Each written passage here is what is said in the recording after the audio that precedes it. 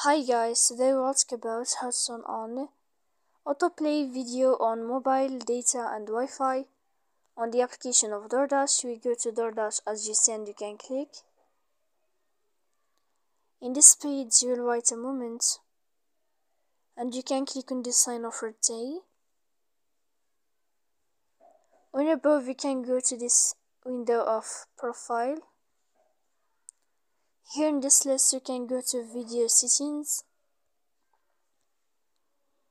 Then this list you can click in this sign. If the sign changed like this then you can know how to turn on autoplay video on mobile data and Wi-Fi on the application of DoorDash.